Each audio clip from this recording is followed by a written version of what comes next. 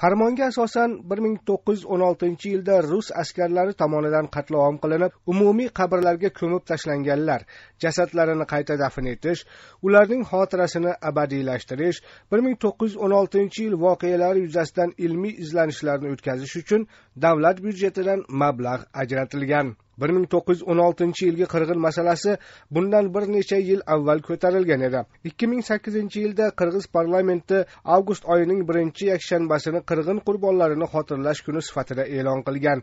Parlamentning bu qarori moskva rasmiylari noroziligiga sabab bo'lgan edi.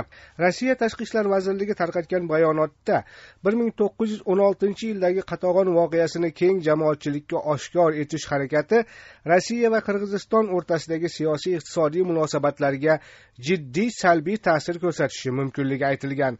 Oradan yetti yil o'tgach bu masalaning qayta ko'tarilishi qirg'iziston kreml yetakchiligidagi yevroosiyo iqtisodiy ittifoqiga a'zo bo'lgan bir davrga to'g'ri kelmoqda.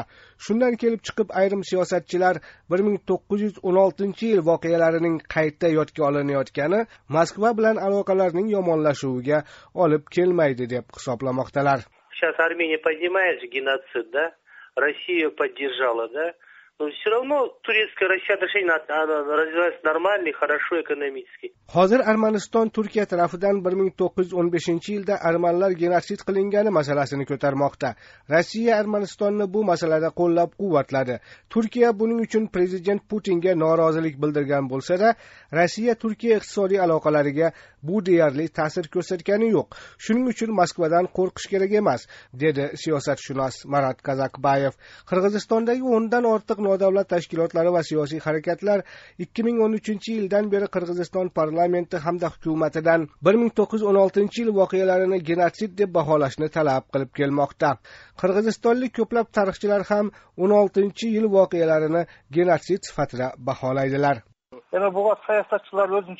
Тарыхчылар өзүнчө ар кандай баа берип атат бирок биз үчүн бул чоң жоготу трагедия бул геноцид болгон dedi tarixchi sonun junusbayev qirg'iz tarixchilari bir ming to'qqiz yuz o'n oltinchi yildagi isyonda ikki yuz ming qirg'iz qirg'in qilingan deb hisoblaydi.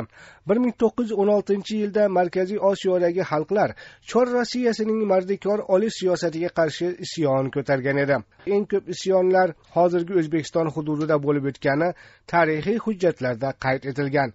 Hujjatlarga tayanadigan bo'lsak bir ming to'qqiz yuz o'n oltinchi yilning iyulida samarqandda yigirma beshta sirdaryoda yigirmata farg'ona vodiysida sakson oltita qo'zg'olon ko'tarilgan. O'zbekistonlik tarixchi olim professor goga hidoyatov bir ming to'qqiz yuz o'n oltinchi yil voqealarini bugungi kunda o'zbek tarixchilari tomonidan o'rganishga qiziqish bildirilmayotganini aytdi.